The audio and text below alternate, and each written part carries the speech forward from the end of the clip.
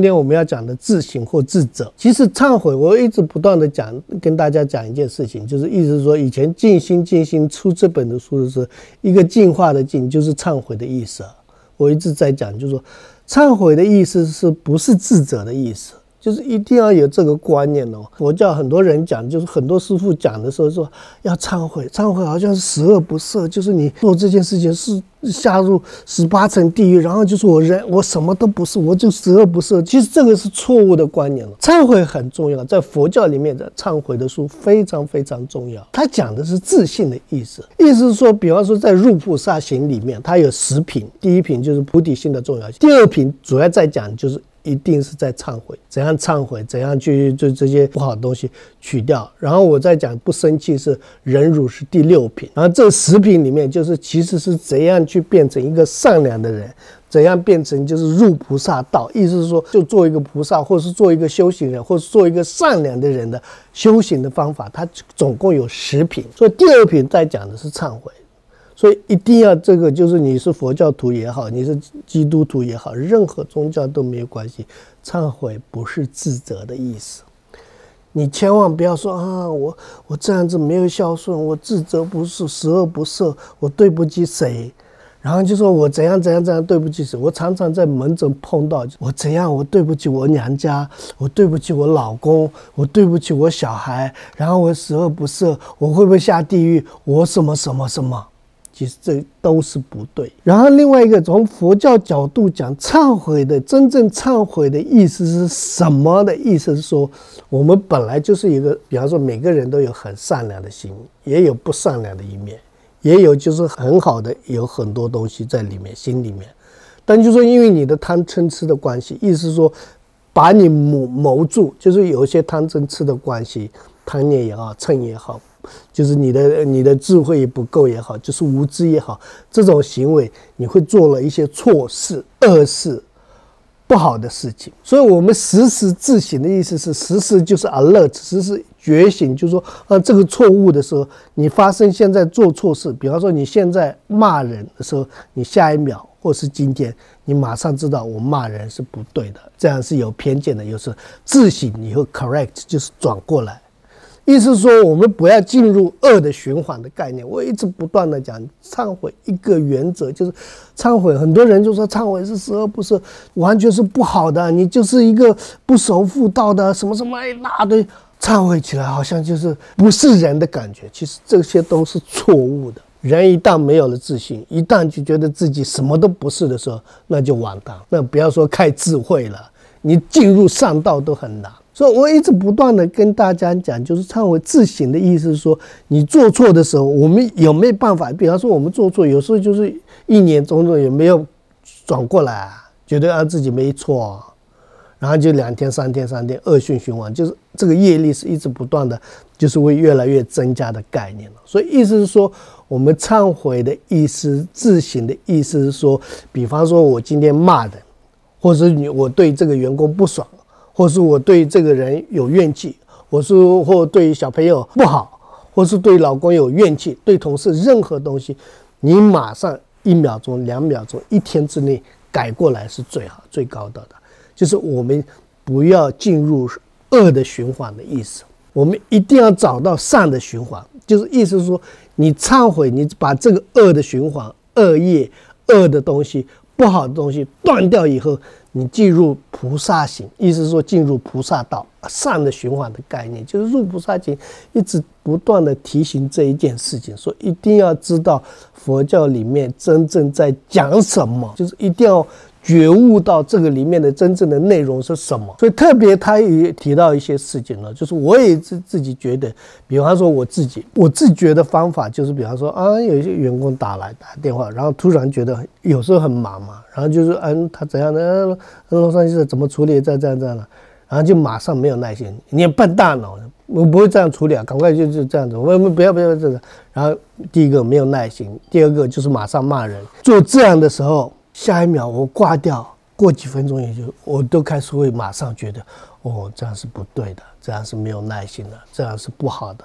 我马上觉醒过来，举这些例子是，意思是说，你做那一刹那的那时候，你要马上第二个要有智慧觉醒过来，那是恶业，那是不好的事情，那是你造业，马上转过来的时候，那个恶不会变成放大，一直变成恶的那个果会变大，因马上断掉的意思，就是你你种了因，马上，比方说你丢一个苹果籽啊，要种它啊，种下去了，你没有浇水，没有任何东西，马上把它。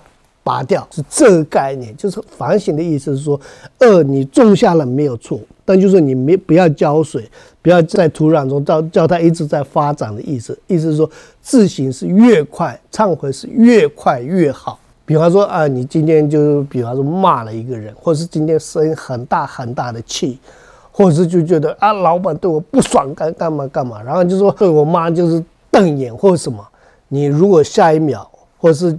越短的时间，你忏悔自行，这个不对的。我应该要忏悔，马上跟妈妈道歉，马上跟老公道歉，马马上跟小朋友道歉。我不对，我错了，我真的是不对。如果有这样自行、自觉的觉悟，你就是永远进入善的循环，善道的概念。所以不是自责，就算你已经结束了，就是比方说你以前没有孝顺，你对小朋友不好，这个已经过去了，你马上要。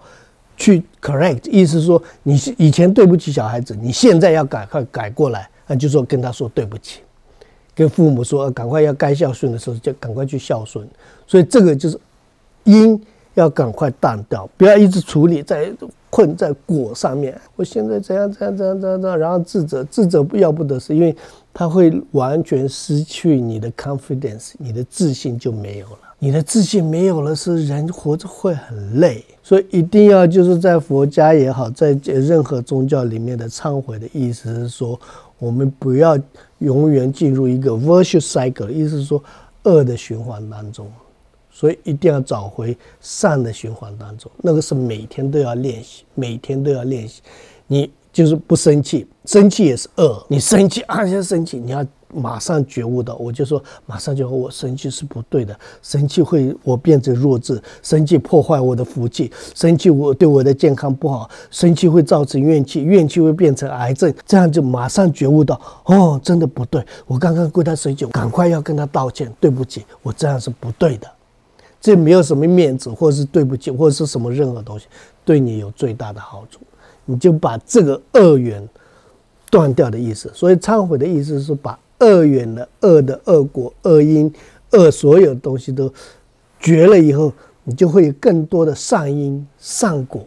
这样成长的时候，你修菩提心也好，你修智慧也好，你修忍辱心也好，任何东西都容易轻松。所以入菩萨行，意思是说菩萨道。做好人的方法，做好人，做有爱心的人，做一个很善良的人的方法，意思入菩萨行的这这个是方法跟道的意思。道里面就是第二品，就是第二个，第一个是就是说，比方说为什么要变成善良的人，为什么要变成好人，为什么要修菩提行？第一个主要讲是这，第二品就讲的是忏悔。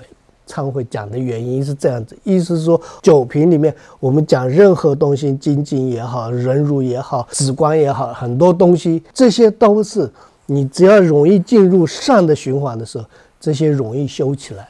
你只要心善，你只要没有那么恶的习性，意思说我们没有不要有坏的，每天都怨气，每天都看不顺眼，每天都气呼呼的，每天都贪念都很重，每天都就是想要这个想要那个一大堆一大堆事情，每天都希望老板加一点薪水，然后就每天都不开心不开心，然后再多加也不开心，再多加也是觉得不够。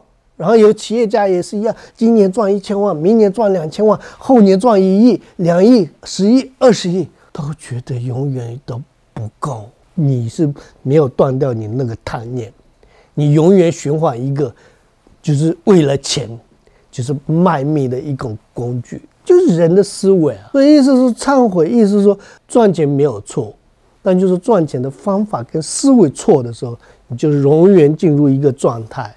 就是没完没了的，好像这个游戏里面 track 住的感觉。为什么贪念是不好的原因？就是贪念就像喝海水一样，越喝越渴，不，它不会止渴。喝了以后，因为它是盐水，越喝越渴，也是不断的想喝，不断永无止境的。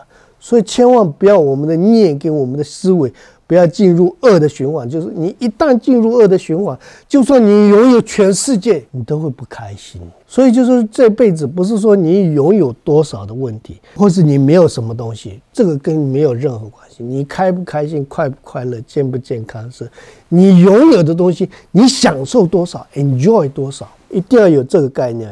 你有一百块。你今天出去玩，坐捷运，然后吃一个便当，然后去爬个山，啊，觉得很富有。你有一千万，买这一个车子，然后开着一个跑车，气呼呼的，然后花了几万块吃一个就是山珍海味，你心里还是贫穷。所以人的思维很重要，很重要，就是意思是说，享受到你拥有的东西，才是真正的智慧，才是真正的福报。你没有享受到你拥有的东西，你一直想要拥有更多、更多、更多、更多，你没有这个福气，你享受不了啊！所以我以前讲，就说以前我在加护病房看过身价几百亿，最后就是牛奶灌进去都灌不进去啊，连一杯牛奶都灌不进去啊，那你你要干嘛？然后身边最后就是大家都苦着闹着要争你的场了。那你人生为了什么？所以有时候我们自己想一想，就是说我们来到这个世上是，我们要享受，我们要感恩我们拥有的东西，不是计较你没有的东西去想、去想抢、去想争、去想更多，那叫做欲望的恶习。所以意思是说，我们的思维也好，我们的心也好，我们的行为也好，我们把恶习造恶的因的这些东西。把它断掉，你要时时刻刻的自省哦，这样是不对的，这样想法是对的。我应该要多一点感恩，少一点怨气，多一点对别人好，少一点生气，多一点就是比方说觉得自己很幸福，少一点贪念。为什么不要呢？所以人的思维改变了以后，你所有的你世界全部都是改变的概念，就是我们是活在一个思维的世界。意思是说，你的怎么想法就是心境的意思啊，心境改变心界。意思说，你的心境变了，你的世界就随着改变。所以一定要知道，忏悔是在做什么，不是自责，是自省。意思说，你造的恶果马上掉的，你的贪念不要一直不断的恶性循环。就意思是，人的贪念是会会增加的。如果你心不改变，你到哪里都一样的概念。如果你心不变，就在你躲在山上修行。也是一样的概念，你胸心是一样的概念，只是环境变比较亲近而已，没有人吵而已。但就是你心永远都是贪嗔痴来绑着你。如果心变了，你在家里也可以修，你在职场上也可以修，是一样的概念。所有的修也好，所有的改变，所有的福报在于什么心？所以这个很重要。第一个就是你。你是自省还是自责？所以这边要看一下，我们准备一些资料。但就是我前面讲的，就是意思是说，我们自省的意思是决断我们的恶恶的习惯，这个一定要记住。习惯性的贬低自我，认为自己不够好，这就是消灭你的自信，这个要不得。千万要不得，你就是不过你是很棒的，你是很好的，你一定要有自信。所以我就在那个 YouTube 上，就是一个有个就是打坐的方式啊，我很棒，我很好，我很漂亮，我很善良，我很长进，我怎样怎样，你每天都可以打坐，我很棒，我还活着，我还可以有一份工作，我有美好的家，我有很善良的父母，我有很好的兄弟姐妹，我有个很漂亮的女儿，我怎样怎样，我老板很好，我住在台湾很快乐一。一定要有这种思维，就是上次我讲的，就是感恩的概念，就是一定要我很快乐，我很棒，我的鼻子很好，我的眼睛很亮，我的耳朵听得很清楚，我的胃消化得很好，我的心脏跳得很好，我还可以爬山，我可以走路，任何东西都我很好，为什么不做呢？Confirmation，意思说你一定要对自己要有信心，所以就是千万不要贬低自己，这个很重要。你不要说不够啊，你已经很棒了，你是全世界独一无二的，你没有第二个，找不到第三个、第四个都没有，连第二个都没有，你就是独一无二的。一定要有这个的自信的时候，人就智慧开了，这世界就好像是全部都变成属于你的。一定要有这个概念，当心和别人不同，选择隐藏自己的想法。当然是你跟别人不同啊，你是独一无二的，所以你怕什么？你表现出来你独一无二的东西，就算你拥有没有什么东西，你就是独一无二的，别人没有人可以替代了任何一个人，这是事实。一定要想着你是独一无二的，什么都好说，总是以为他人的意见为主，这个就是没有智慧的概念了，所以没有主见的概念了。所以人要从小培养成自己主见，特别是要培养小孩，你教他决定了自主权了，才会小朋友开始会决定这个是对还是错。然后才会进步，在员工也是一样的。如果员工就是训练成慢慢自主性的，就比方说啊，什么都交给他们去做的时候，很快速的成长；什么都老板一个一个的交代清楚，那个员工就不会成长。就是一定是听别人的，容易照单全收，无法拒绝他人的请求，那都很可怕，那都是不好的。所以有时候就是比方说亲情的勒索、情绪的勒索。或是老板的勒索，任何东西有时候就是大胆的说 “no”，老子做不到，不要。这个是要会学的，然后你才会有。就比方说，你有决断性。就比方说，你不做的原因是什么？你的理由是什么？你有更好的想法还是什么？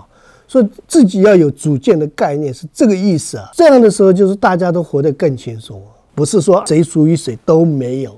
所以一定要有时候学会弄。然后你要讲清楚，你要很明智的说，说为什么我要这样子。比方说亲戚朋友也好，就是比方说他要帮你，我说哦不要帮你，不帮你的原因是什么？你要怎么处理？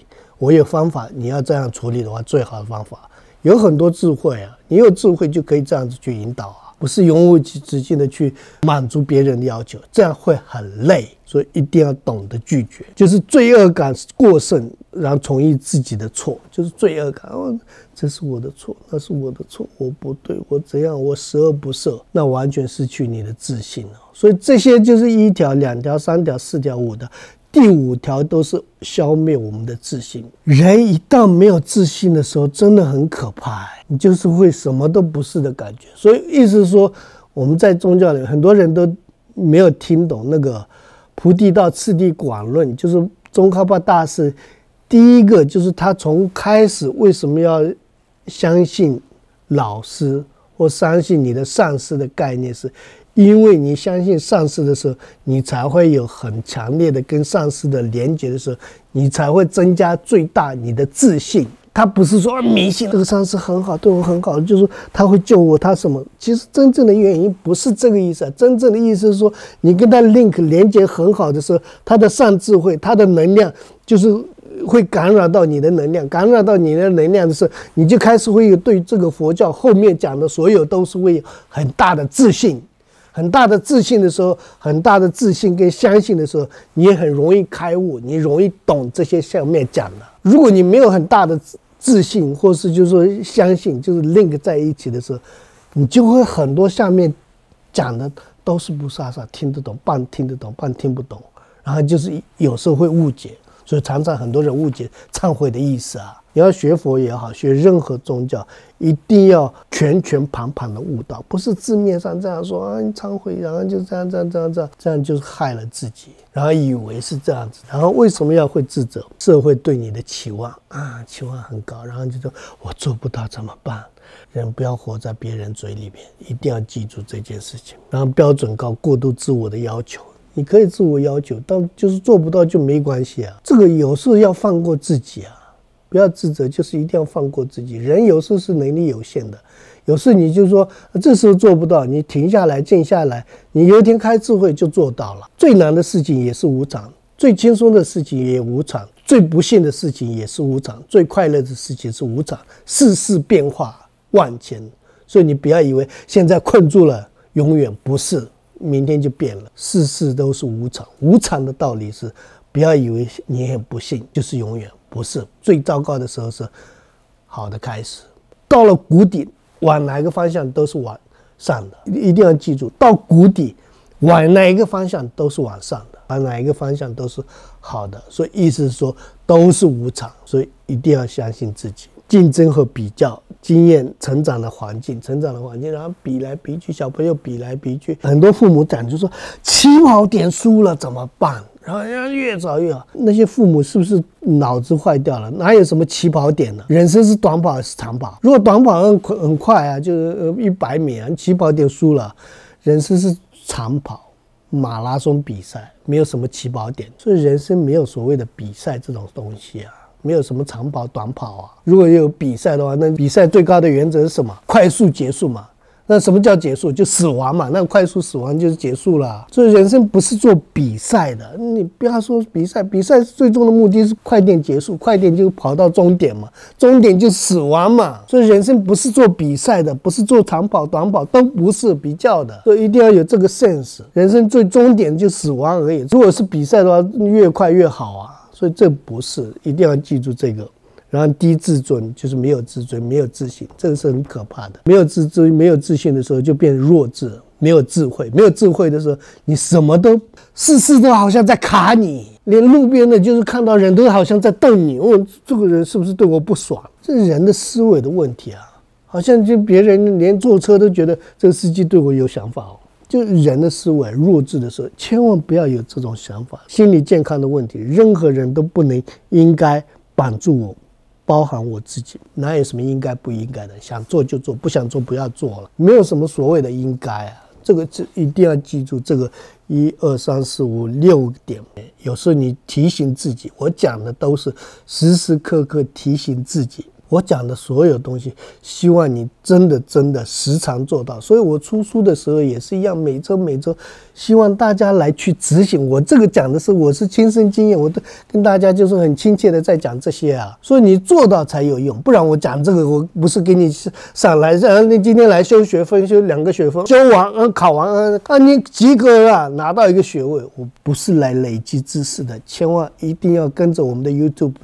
不是来累积知识的，我们是来得到善智慧，改变我们自己的命运跟人生。希望人变善良一点，希望就是我看我们的 YouTube 的人，希望变善良一点，变乐观一点，变开心一点，少一点怨气，少一点生气。如果我们这些做到了，我的目的达成了，你的任务也完成了，这个世界上。没有白来，对世界改变一点点，改变一点点，这就是我们一起共同努力的方向。所以把这个善知识传出去，大家一起努力就改变。我讲这些，我也改变了，我也不是圣人了，我也不是什么大师上师已经悟道的人了。我也讲这些，我也每天都在改变，每天都在进步，讲一次进步一次，讲一次进步一次，日夜累积下来。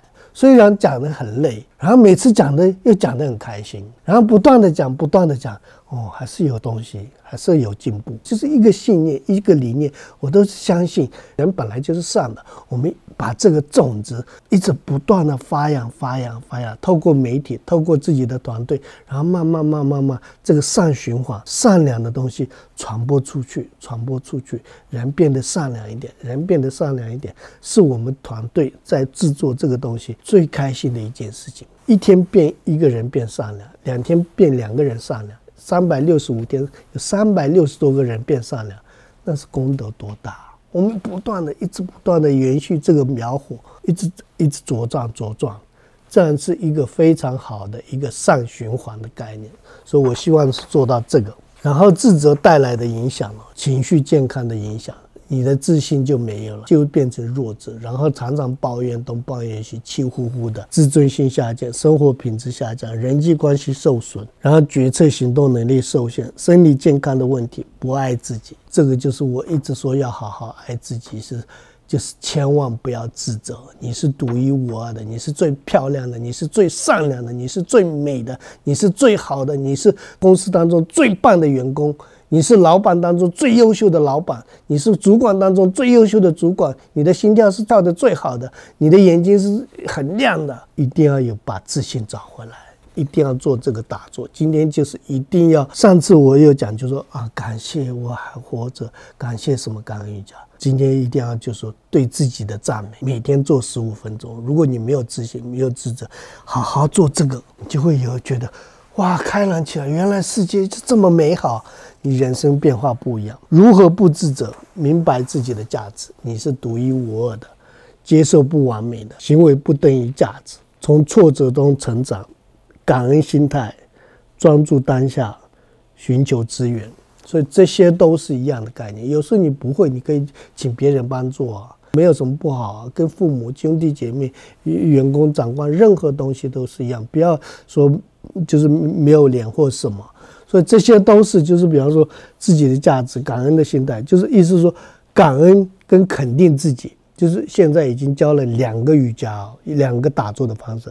第一个是感恩，第二个是肯定自己，我很棒，我很美，我很好，我很优秀，我是独一无二的。